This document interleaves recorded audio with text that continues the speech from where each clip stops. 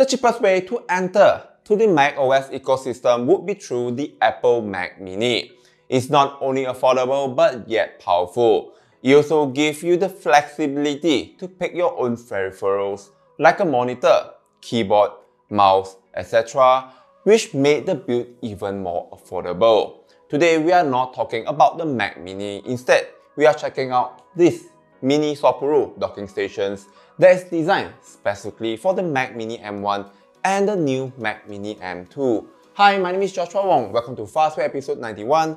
I do short and fast tech reviews on this channel. That's how the name came about. The Mac Mini is very compact and I would say it's very well designed with a complete array set of ports. The only problem is all the ports are located behind.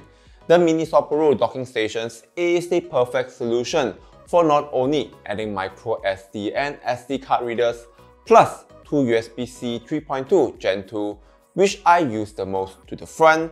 It also has an M.2 PCIe 3.0 SSD slot at the bottom that helps expand the Mac Mini storage. Because of this, I could save some money by getting the base model and spending it on a larger memory or getting this 2TB Kingston NV2 PCIe 4.0 SSD for two-thirds of the price if you are doubling the storage from Apple Store. To get the same storage size, it's gonna set you back an additional of RM 3200 ringgit. It offers fast read and write speed that are sufficient to use as a scratch disk for all my 4K videos editing. The brush finish and silver aluminum design match perfectly with the Mac Mini while keeping the working areas clean and tidy. The only complaint is the USB-C cable is non-removable and is quite long for a clean setup.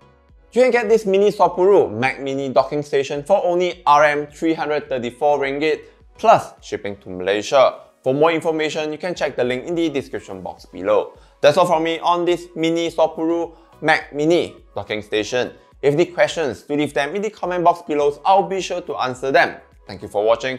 Like and subscribe. Take care and I'll see you at the next one.